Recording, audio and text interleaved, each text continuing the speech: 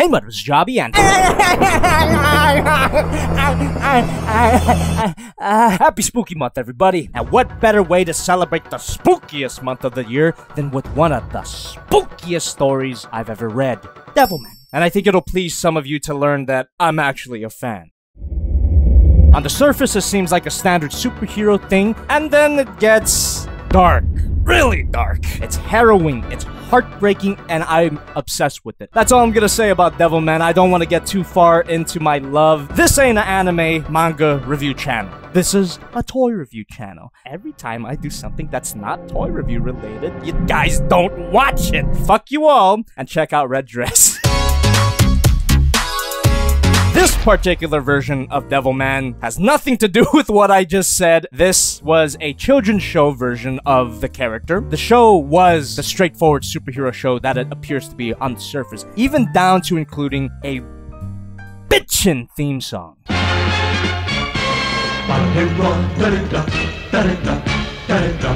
And you know what Devilman kind of rhymes with?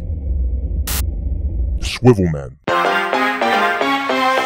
And the child-friendly nature of this design is apparent. He looks goofy as hell, but I do have to admit, the painting and sculpting on this figure is awesome. One of my favorite things about this particular design for Devilman is his skin color. Do not take that the the wrong. You're you're okay. You're already tweeting. All right, oh, I really like this particular shade of green, blue, green, blue, green, and I like how the red stripes on the shoulders contrast with that. What I'm not the biggest fan of in this design is the underpants. Now, don't get me wrong. I am a big fan of superhero underpants underpants, alright? Superman doesn't look right without them. Batman don't look right without them. But if that's all you're wearing, it tends to look a little weird, right? Doesn't help that this figure actually includes a prominent bulge. Mamma mia. What I'm really trying to say is Devilman kinda thick. it really is my only point of contention with this design for Devilman. The upper body looks fantastic. Really, if it was just this upper body with the goat legs of the manga, that would be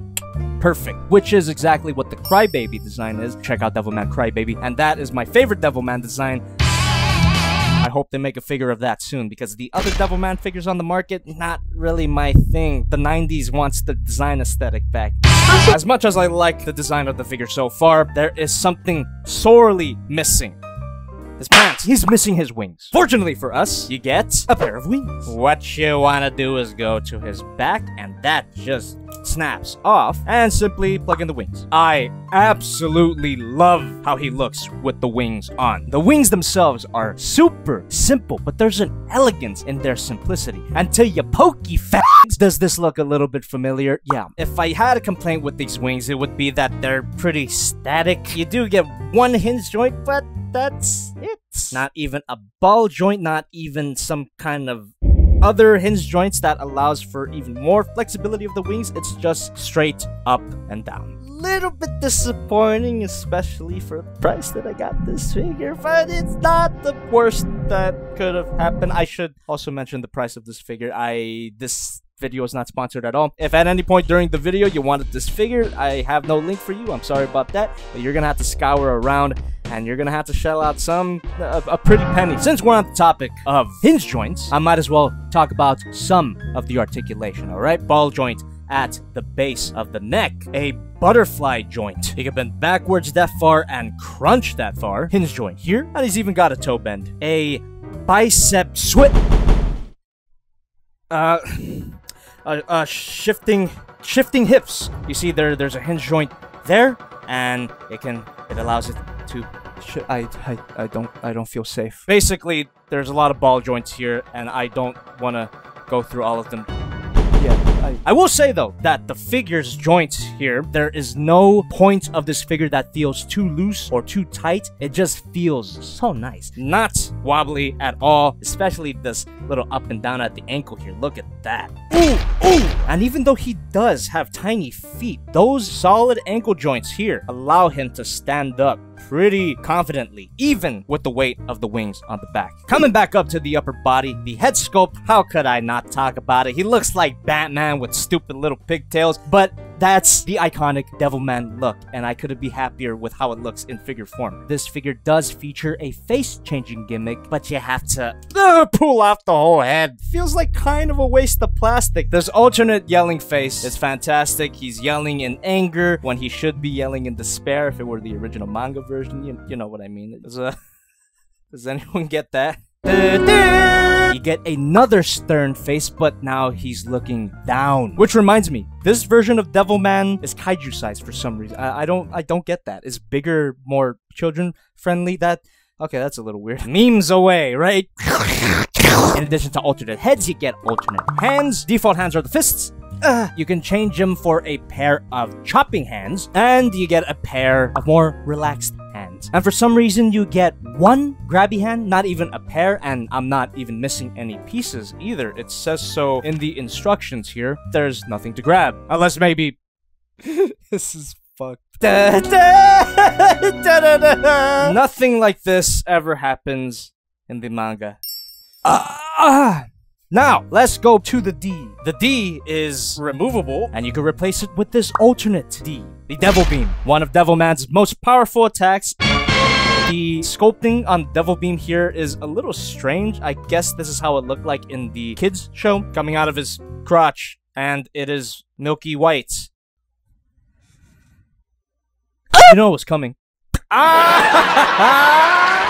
hey. If you notice several times throughout the video, I plugged this so this actually comes with the set. That stand arm can plug in to his back. Hinge joint, hinge joint, hinge joint. There's actually a longer one that's more appropriate for what I'm about to do right now. And this is gonna plug in to this beautiful looking base that looks less like something for an SH Figuarts and more like a Soul of Chogokin thing. So the base and this thing here is the reason why the box was relatively large. This whole assembly was disassembled out of the box, but the assembly is easy enough. And these construction beams, I guess, simply attach to the base. Plug in the smaller stand arm, plug him in, sit his fat ass down. Ah! And that looks pretty great. The articulation here is practically limitless. There is so much you can do using the joints of this figure and this stand. In fact, the construction beam setup works a lot better for flying poses. Now, I know I haven't covered all the articulation on the figure just yet, but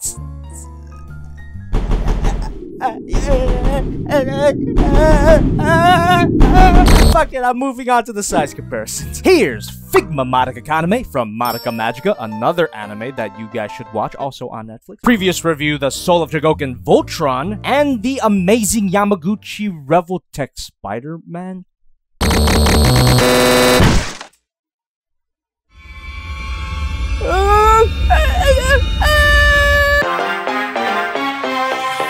that thing? What is he? What is he? What is he? He is the Swivel, the Swivel Man. He's Swivel Man. Some say he's an idiot. They say he's dumb as rock. He's the man who thinks it's fun to joke about his cock. Swivel out the hand, move up and down. Swivel out the shoulder, arm moves out. Bend out the elbow, swivel out the wrist. Ball joint here and swivel out the tents when action figures are at hand. The swivel in command. He is a creature with greasy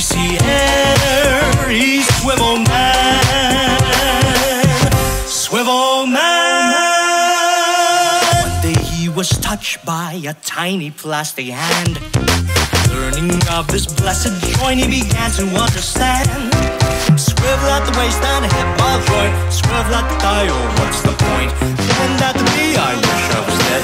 Pivot at the ankle, beard both spread. When action figures are at hand, the swivel's in command.